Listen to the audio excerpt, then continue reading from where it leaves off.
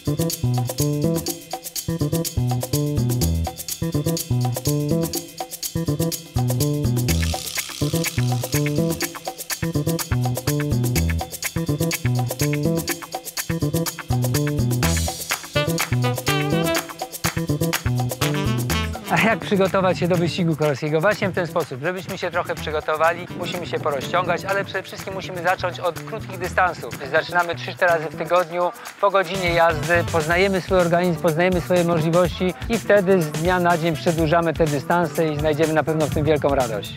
Na początek wybieramy łatwą trasę. Warto jest dobrze zaplanować jednostki treningowe, tak aby w ciągu tygodnia przejechać je trzykrotnie. Sugerowana długość jednostki to około 30 km.